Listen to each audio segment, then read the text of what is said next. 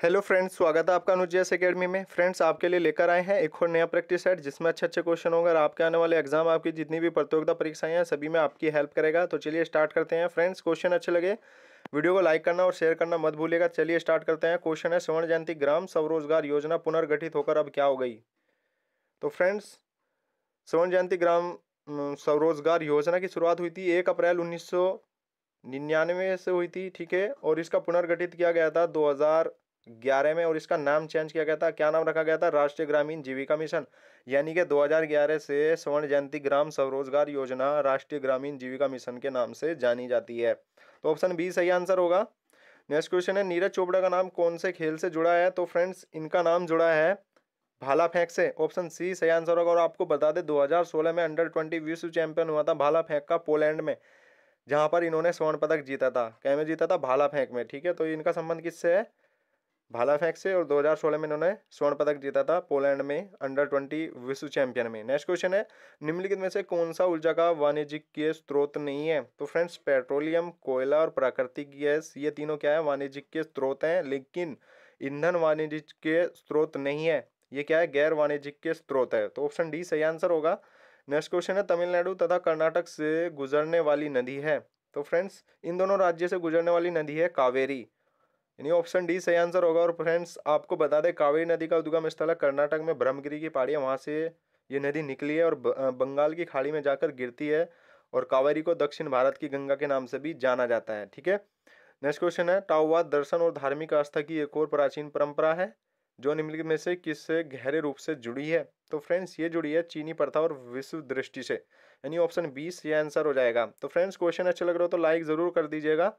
Next question है, मनुष्य में निम्नलिखित में से कौन सा आपातकालीन हारमोन्स है? तो फ्रेंड्स आपातकालीन हारमोन्स, ये हारमोन्स जो स्त्रावित होता है, वो क्रोध, भय और गुस्से में होता है, ठीक है? और जो वह हारमोन्स है, उसको कहते हैं हम एडिनलिन हार्मोन्स, यानी ऑप्शन सी सही आंसर हो जाएगा, और इसको एक और नाम से जानते हैं, लड़ोड़ो हार्मोन्स के नाम से, किसको? एडिनलिन को लड़ोड़ो हार्मोन्स के नाम से जाना जाता है, और ये आपातकालीन हार्मोन्स है, जो भय, क्रोध और गुस्से में ही उत्पन्न होता है, ठीक है? तो ऑप्शन सी सही आंसर होगा नेक्स्ट क्वेश्चन है, ध्वनि तरंगों से कौन सा शब्द जुड़ा हुआ नहीं है? तो फ्रेंड्स ध्वनि तरंगे अनुधेर्य तरंगे होती हैं तो इनसे जो नहीं जुड़ा हुआ है वो कैंडेला नहीं जुड़ा हुआ है यानी कि ऑप्शन सी सही आंसर हो जाएगा, कैंडेला क्यों नहीं जुड़ा हुआ है? क्योंकि यह ज्योति तीव्रता का मात्रक है। मैक जो है, ध्वनि की चाल से संबंधित है डेसिबल ध्वनि की तीव्रता से संबंधित है, यानी कि ऑप्शन सी सही आंसर होगा, कैंडेला ज्योति तीव्रता का मात्रक है, ना कि ध्वनि से जुड़ा हुआ है। तो ऑप्शन सी सही आंसर होगा। नेक्स्ट क्वेश्चन है कंप्यूटर विज्ञान में डाटा पर खतरा उत्पन्न होता है जब पाइपलाइन रीड राइट एक्सेस का क्रम अप्रेंडस के लिए बदल देती है। तो ऑप्शन ए, इस क्वेश्चन का सही आंसर हो जाएगा। नेक्स्ट क्वेश्चन है, भारतीय सिविल सेवा किस गवर्नर, जनरल वायसराय के शासन के दौरान आरंभ की गई थी? तो फ्रेंड्स, ये की गई थी आपकी कर्नवालिस के समय में, ठीक है? भारतीय सिविल सेवाएँ जो होती हैं, I S P C S परीक्षाएँ कर्नवालिस के समय से स्टार्ट हुई थी। और फ्रेंड्स, आपको बता दें कर्नवालिस को भारत में नागरिक सेवा का जनक भी माना जाता है। तो ऑप्शन डी सही आंसर होगा। नेक्स्ट क्वेश्चन है, निम्नलिखित में से कौन सी वायुमंडल की सबसे ऊपरी परत है?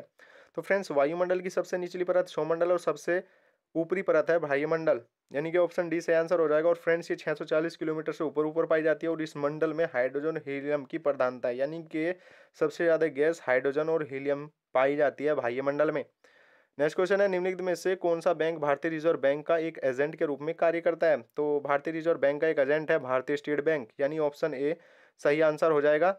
नेक्स्ट क्वेश्चन है, झिल्लीदार गर्दन वेबर नेक किसका अभिलक्षण है? तो फ्रेंड्स, ये लक्षण है आपका टर्नर संलक्षण का, यानी ऑप्शन बी सही आंसर हो जाएगा। और फ्रेंड्स, इस, ये जो बीमारी है ये स्त्रियों में होती है, यानी कि इस बीमारी के भाग स्त्री हैं, इस रोग में इनके जो गुणसूत्र होते हैं, छियालीस उनकी जगह पैंतालीस रह जाते हैं, यानी कि एक एक्स जो गुणसूत्र होता है वो कम हो जाता है। और उसमें क्या होता है, स्त्रियों का शरीर अल्प विकसित होता है, कद छोटा होता है जिसमें ये बांझ भी हो जाती हैं। ठीक है फ्रेंड्स, किसमें?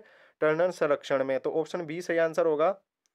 नेक्स्ट क्वेश्चन है, विश्व व्यापार संगठन जो अब गेट के स्थान पर है, का मुख्यालय कहाँ है? तो फ्रेंड्स, विश्व व्यापार संगठन इसकी स्थापना जो हुई थी एक जनवरी उन्नीस में से स्टार्ट हुआ था गेट और इसका नाम चेंज किया गया था गेट, ठीक है? विश्व व्यापार संगठन का नाम और इसका मुख्यालय आपका स्विट्जरलैंड, जिनेवा में। यानी ऑप्शन डी सही आंसर होगा।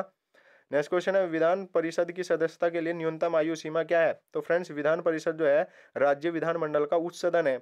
और फ्रेंड्स, ये एक सौ उनहत्तर अनुच्छेद में है। किसमें एक सौ उनहत्तर अनुच्छेद में है और इसके जो सदस्य होते हैं, उनकी न्यूनतम आयु होती है तीस वर्ष। ऑप्शन सी सही आंसर होगा। विधान परिषद की सदस्यता के लिए न्यूनतम आयु सीमा क्या है? तीस वर्ष है। तो तीस वर्ष आपकी सदस्यता होनी चाहिए, तभी आप विश्व सॉरी, विधान परिषद के सदस्य होंगे। नेक्स्ट क्वेश्चन है, बांग्लादेश का राष्ट्रगान, अमर सोनार बंगला, किसने लिखा है? तो फ्रेंड्स इसका क्वेश्चन का आंसर तो आप सभी जानते होंगे, रविंद्रनाथ टैगोर ने। तो फ्रेंड्स क्वेश्चन अच्छा लग रहा हो तो लाइक ज़रूर कर दीजिएगा। नेक्स्ट क्वेश्चन है, भारत में लाख का सबसे अधिक उत्पादन कहाँ होता है? तो फ्रेंड्स लाख का सबसे अधिक उत्पादन होता है झारखंड में। उसके बाद जो नंबर पर आते हैं सेकंड नंबर पर छत्तीसगढ़ है और उसके बाद पश्चिम बंगाल में सबसे ज़्यादा लाख का उत्पादन होता है। नेक्स्ट क्वेश्चन है, बचपन बचाओ आंदोलन के संस्थापक कौन है? तो इसके संस्थापक हैं कैलाशी सत्यार्थी। तो कैलाश सत्यार्थी इसके संस्थापक है और फ्रेंड्स आपको बता दें 2014 में शांति के लिए कैलाश सत्यार्थी को नोबल पुरस्कार से नवाजा गया था, ठीक है? तो बचपन बचाओ आंदोलन के संस्थापक कौन है? कैलाश सत्यार्थी हैं ऑप्शन डी सही आंसर होगा। नेक्स्ट क्वेश्चन है, यदि किसी इलेक्ट्रॉन और प्रोटोन का समान तरंगधैर्य हो तो उसका निम्न में से क्या समान होगा? यदि इन दोनों का समान तरंगधैर्य है तो उनका वेग भी समान होगा। ऑप्शन ए सही आंसर होगा। सॉरी फ्रेंड्स यदि किसी इलेक्ट्रॉन और प्रोटोन का समान तरंगधैर्य हो तो उनका निम्नलिखित में से क्या समान होगा? तो फ्रेंड्स इनका समान होगा रेखीय संवेग, ना कि वेग।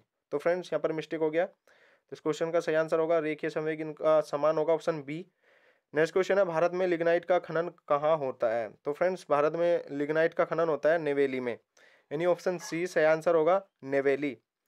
नेक्स्ट क्वेश्चन है, निम्नलिखित में से कौन उष्ण कटिबंधीय पतिझड़ पौधे हैं जो दखन के पठार की विशेषता है? तो फ्रेंड्स, दखन का पठार ये कर्नाटक में है।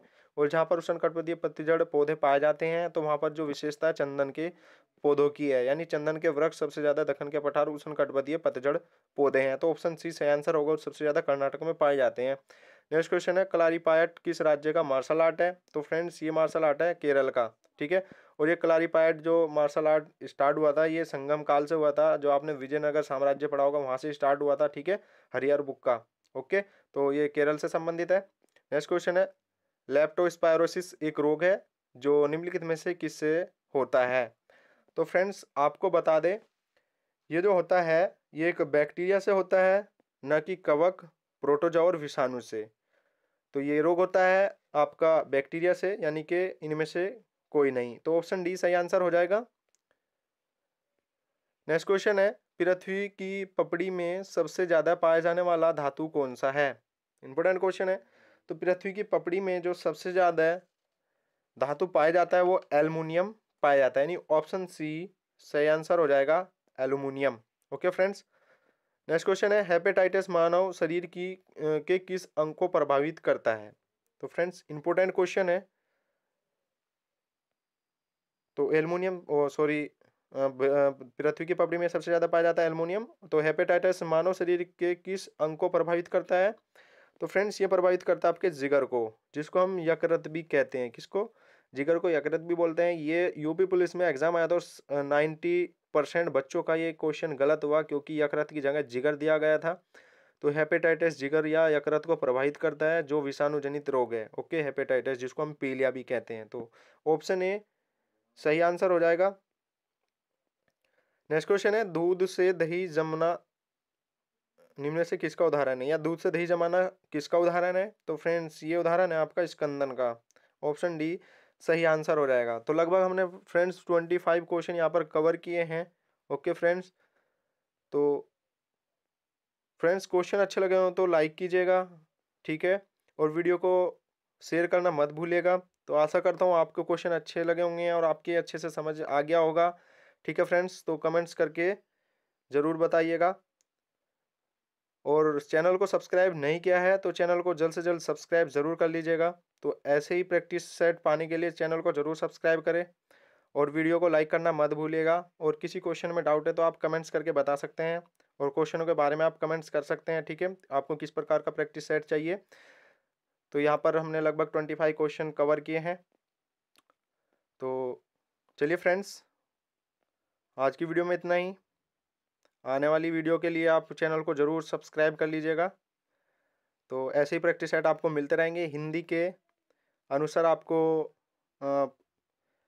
और प्रैक्टिस सेट कवर करा देंगे, ठीक है?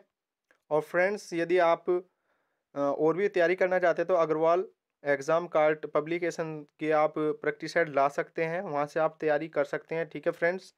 आप देख सकते हैं अग्रवाल एग्ज़ाम कार्ड पब्लिकेशन, बहुत अच्छे प्रैक्टिस सेट हैं, ठीक है? तो यहाँ पर इस चैनल्स के माध्यम से आपकी बहुत अच्छी तैयारी चल रही है। ठीक है प्रैक्टिस सेट आपके कवर कराए जा रहे हैं। तो चलिए फ्रेंड्स चैनल को सब्सक्राइब ज़रूर कर लीजिएगा। Thanks for watching